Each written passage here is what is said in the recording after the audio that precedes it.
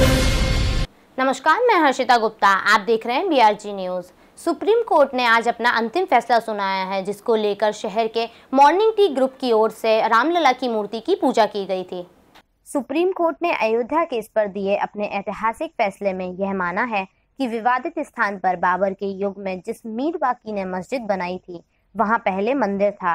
इस ASI report के बाद आज सुप्रीम कोर्ट ने रामलला मंदिर के पक्ष में अपना अंतिम फैसला सुनाया था। वहीं मस्जिद के लिए अयोध्या में ही पाँच एकड़ ज़मीन देने की बात की है।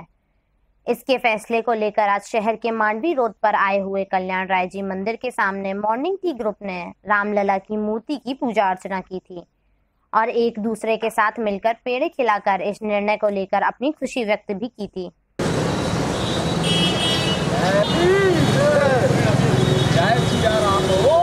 જે ચુકાદો ભારત દેશમાં આજે માન્ય સુપ્રીમ કોર્ટે આપ્યો છે, તે જીતનો ઉત્સવ છે, પણ હાર અને જીત કોઈની નથી, બધાની જીત છે.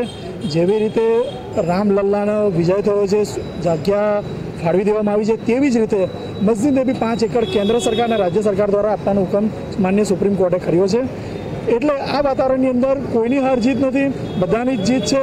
લોકો શાંતિથી, સુખીથી રહે, એ જ ઉત્સવ છે. ऐसी ही ताज़ा तरीन खबरों से अपडेट रहने आप हमें यूट्यूब फेसबुक इंस्टाग्राम और ट्विटर पे सब्सक्राइब लाइक और फॉलो करना ना भूलें।